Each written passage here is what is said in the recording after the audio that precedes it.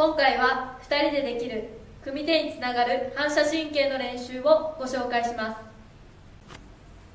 まずタオルをキャッチする練習から行います。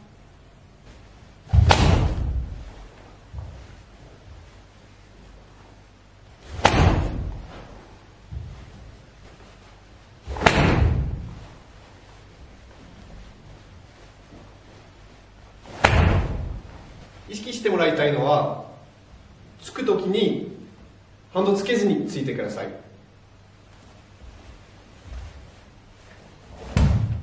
今のように手を引いてからつかないでください。あとは前傾ならないようについてください。このように腰をしっかり入れて前足しっかり前に出してください。であとは次のタイミングです。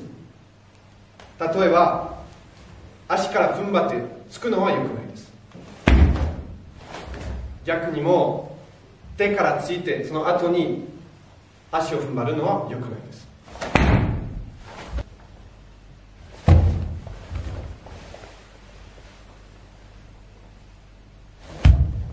しっかり足腰手の決めのタイミングを合わせながらついてください。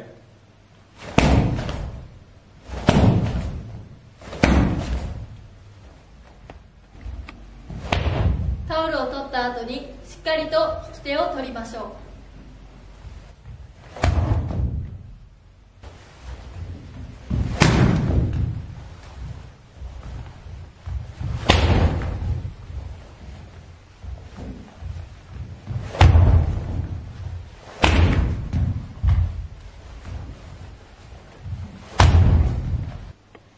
込むことができない場合はその場でやっていきましょう。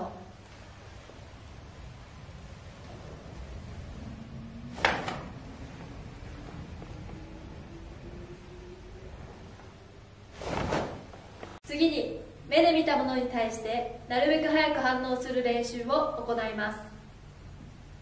1人は小さいボールを右手か左手に持ちます。後ろに隠して両手を上げます。この時点ではボールを隠しておいてパッと相手に見せた瞬間にボールを落とします。もう一方は落ちたボールに対して足を踏み込んでステップしていきます。なるべくボールが床に落ちる前にステップできるといいと思います。足をステップするときにくるイメージでやってみましょう。